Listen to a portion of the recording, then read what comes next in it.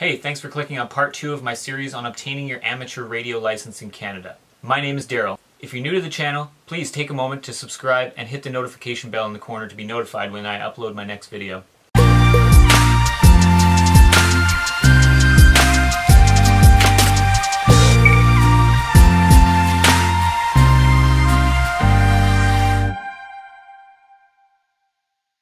Today we'll be discussing the first couple steps in getting your amateur radio license in Canada. Let's talk about prerequisites and what's required to take the amateur operator's course.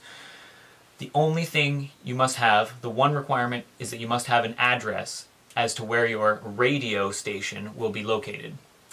You don't have to be a certain age. You don't have to have any sort of prior training. You don't have to be a citizen of this country. You can be any person as long as you have an address, you just need to be able to pass the test to obtain your certification. Where do I take the class?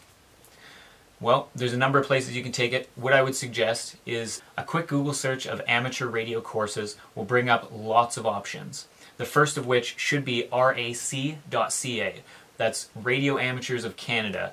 Now on the RAC website, you'll find links to courses that are offered by various clubs throughout the provinces. They're all listed by province. So sort it by whatever province you live in and it will show a list of all the places that offer the course, whether it's online or offline.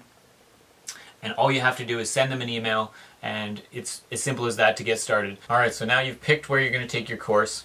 You've contacted somebody. There's, they said, hey, this is when it starts, this is how much it is, this is what you need to bring. It's pretty straightforward. Um, I'm not going to go over the actual course material in this video. Uh, I'm going to touch on some of the different uh, topics in the course material maybe uh, in future in the future of this series. So now you're on the path to getting your amateur radio operator's license. If you would like to, after you're done your basic, like I said, you can move on to the advanced. You can even get your uh, five five word per minute Morse code. Um, you know, move up through the ranks. You can become an instructor. You can teach the course. Um, those are all just the basic things you can do. But uh, obviously, there are many, many, many hobbies within this hobby that you could be wanting to get into radio for, whether it be for outdoor uh, safety, whether it be for communication um, to you know other countries, uh, recreational activities. There's competitions, contests, all those sorts of things, um, and we're going to get into lots more of that stuff. But thank you so much for watching this video. I hope you guys learned something about getting your amateur radio operator's license in Canada. If you do have any questions, do not hesitate to leave them in the comments below. I will do my best to answer them. Like I said, I'm still going through this process right now and documenting it as I go. And uh, yeah, I can I can surely try to help you or guide you in the right direction.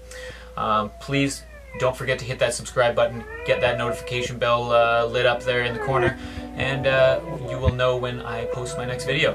Thank you so much. see you later.